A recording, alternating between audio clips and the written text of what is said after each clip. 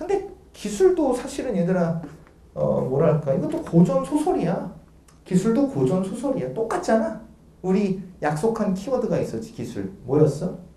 아, 우리끼리 통용되는 요 기술의 특징적 흐름이 있잖아. 뭐 어? MPPS가 있잖아. 그지? 우리 기술 지문 한번 나는 얘들아 난 이거 자신 있어. 네가 어떤 기술 지문을 나한테 가져와도 요 흐름이다라고 나는 100% 확률을 맞힐 자신이 있어 평가원 거라면 혹은 평가원을 흉내내서 썼다면 무조건 요 풀 안에서 움직이게 돼 있다고 해보자 이게 기술 지문은 예배가 100이면 100 다 똑같아 무조건 일문단에서 뭐가 나올까?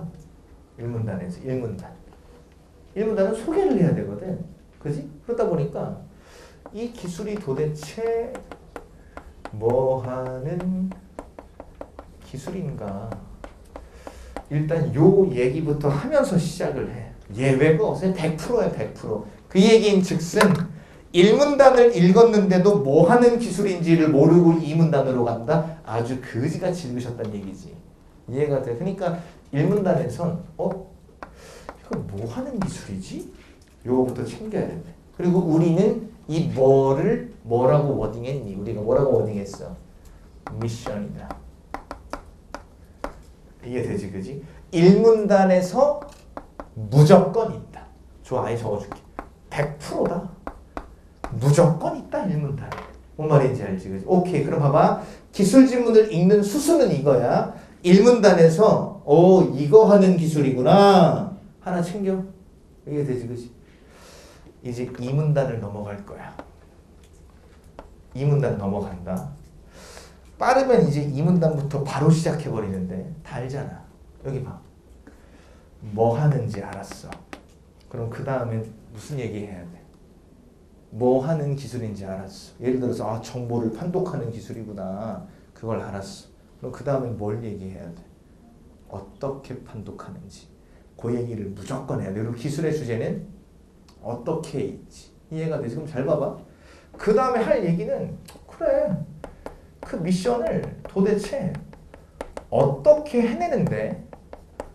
그거 도대체 어떻게 해내는데? 이렇게 되지 그지? 그러니까 중요한 건 어떻게야 어떻게. 이해되지? 우리가 이거를 뭐라고 하기로 했어? 프린서플이라고 부르기로 했었지 그지? 이해가 되지? 근데 잘 봐라 얘들아. 이 어떻게 해내는가?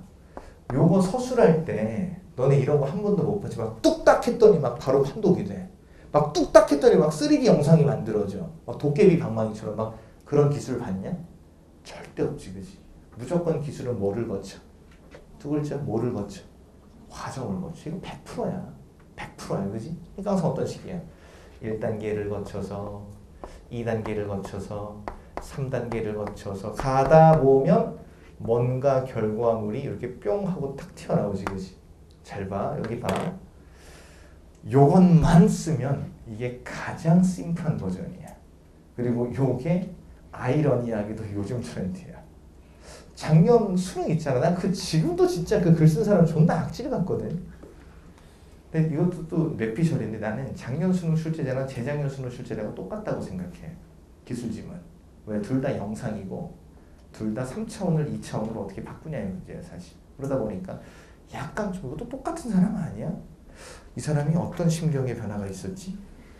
왜 이렇게 악질이 된 거야? 막, 막 그런 생각이 들어. 그러니까 그 글 약간 어떤 식이야? 일문단에서 너무 친절하지 않아? 운전을 하다 보면 마치 위에서 내려다본 듯한 영상을 우리가 확인할 수 있다. 이 영상이 어떻게 만들어지는지 알아보자. 존나 친절해. 그지 약간 인상 좋은 아저씨가 야 맛있는 거 사줄게 따라와봐. 약간 뭐 이런 느낌? 아, 예, 아저씨 따라갔어. 갑자기 아저씨가 막 칼을 꺼내, 막. 약간 이런 느낌 아니야? 그러니까, 이문, 존나 그로테스크하다니까? 이문단에서부터 원리가 나오는데, 이해가 와장창 깨지겠어, 나. 이게 왜 그런지 알아? 되게 역설적으로 짧아져서 그래. 짧아지면 부연을 못해.